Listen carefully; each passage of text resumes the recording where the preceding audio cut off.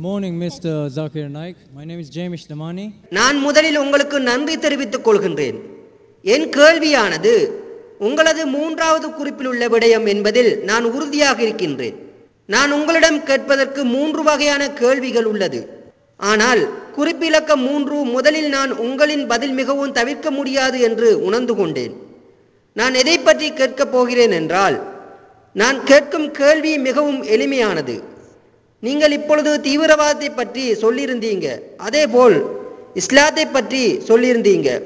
நான் உங்களிடம் ஒரு எளிமையான கேள்வியை கேட்கின்றேன். அதேவேளை என் கேள்விக்கு நேர்மையான பதிலை பெற முடியும் என நினைக்கின்றேன். என்னுடைய கேள்வி என்னவென்றால் பாகிஸ்தான் ஆப்கானிஸ்தான் ஈராக் போன்ற நாடுகளில் என்ன நடக்கிறது? நான் இங்கே இருக்கும் யாருனதும் பெயரையும் சுட்டிக்காட்ட நினைக்கவில்லை. அதாவது என்னவென்றால் நான் செய்திகளின் மூலம் கேட்டுக்கொண்டேன்.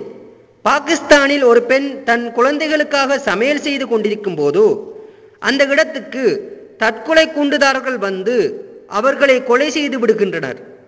நான் உங்களிடம் ஒரு இலகுவான கேள்வியை கேட்க விரும்புகின்றேன். அதாவது இவ்வாறு செயற்படுவதுதான் இஸ்லாமிய மார்க்கமா? அல்லது அவ்வாறு செயற்படும் நபர்கள் இஸ்லாமிய மார்க்கத்தை புரியாமல் செய்யப்படுகின்றார்களா? மேலும் அவர்கள் இஸ்லாமிய மார்க்கம் பற்றி அவர்களின் சொந்த கருத்துக்களை கொண்டிருக்கின்றார்கள். அதேபோல் நான் இன்னும் ஒரு விடயத்தை கேட்க விரும்புகின்றேன். அதற்கு நீங்கள் பதில் சொல்ல முடியுமா? அதாவது ஒருத்தரோ அல்லது சிலரோ இப்படியான செயற்பாட்டுக்கு உள்ளாகி இவ்வாறான பிரச்சாரங்களில் ஈடுபடுகின்றனர். இவர்களின் இவ்வாறான செயற்பாடுகளில் அதிகமான மக்கள் இறந்துள்ளனர். அதேபோல் அமெரிக்கர்கள் மக்களை கொள்கின்றனர் நான் உங்களுக்கு பதிலை சொல்கின்றேன். அதன் பிறகு உங்கள் கருத்தை தெரிவியுங்கள். சகோதரர் கேட்கக்கூடிய கேள்வி என்னவென்றால் பாகிஸ்தான் ஆப்கானிஸ்தான் போன்ற நாடுகளில் ஒரு பெண் தன் குழந்தைக்காக சமையல் செய்து கொண்டிருக்கும் போது அந்த இடத்துக்கு தற்கொலை கூண்டுதாரர்கள் வந்து அவர்களை கொலை செய்து விடுகின்றனர். எனவே இது தொடர்பான விளக்கம் கேட்கின்றார். இதனை பொறுத்தவரை ஊடகங்கள் என்ன சொல்கின்றது என்பதை மறந்து விடுங்கள்.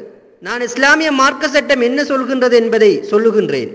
அதாவது ஊடகங்கள் சொல்லக்கூடிய விளக்கம் சரியோ தவறோ நான் அல்குர்வான் சொல்லக்கூடிய விளக்கத்தை சொல்கின்றேன்.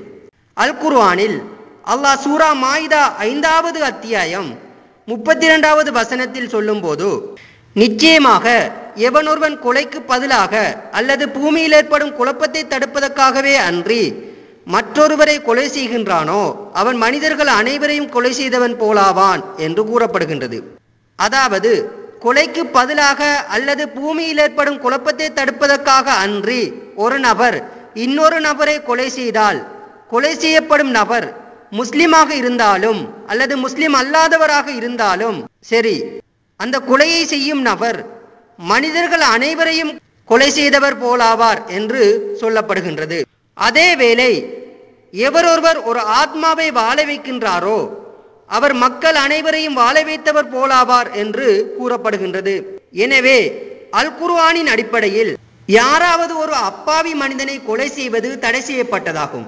அதேபோல் தற்கொலை குண்டுதாரர் ஒரு பெண் தன் குழந்தைக்காக சமைத்துக் கொண்டிருக்கும் போது கொலை செய்த செயற்பாடானது நூறு வீதம் தடை செய்யப்பட்டதாகும் அதேவேளை அந்த தற்கொலை குண்டுதாரர் பாகிஸ்தான் பங்களாதேஷ் அமெரிக்கா துபாய் எந்த நாடாக இருந்தாலும் இந்த செயற்பாடானது நூறு வீதம் தடை செய்யப்பட்டதாகும் உங்களுக்கு பதில் புரிந்து விட்டதா Okay. the Hundred answer is percent wrong. clear now. Whoever is doing அதாவது முஸ்லிம் பெயரை சொல்லக்கூடியவர் அல்லது அமெரிக்காவைச் சேர்ந்தவர் அல்லது இவ்வாறான பிரச்சாரங்களில் ஈடுபடுபவர்கள் யாராக இருந்தாலும் இவ்வாறான செயற்பாடானது ஒட்டுமொத்தமாக தடை செய்யப்பட்டதாகும் உங்களுக்கு பதில் புரிந்து விட்டதா நூறு வீதம் பதில் உங்களுக்கு புரிந்து விட்டதா Okay.